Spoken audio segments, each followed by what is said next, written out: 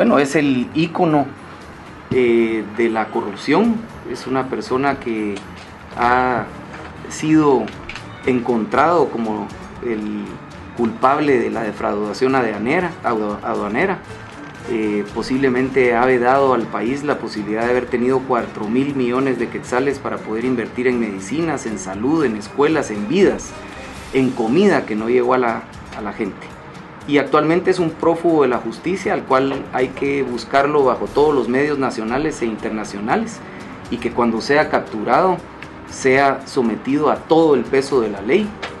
y que ese castigo ejemplar que se debe tener para este tipo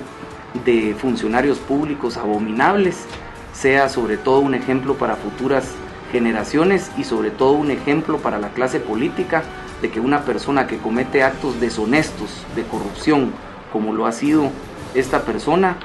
pues nunca lo vuelva a hacer y que caiga todo el peso de la ley con una persona que nos ha avergonzado pero que de alguna manera ha permitido unificar a todo un pueblo para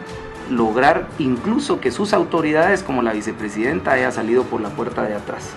Entonces dentro de todo lo malo, lo bueno que se saca como de un limón a una limonada, que ha despertado el pueblo precisamente por villanos eh, espurios como este sujeto que no mereció jamás tener la oportunidad de servir.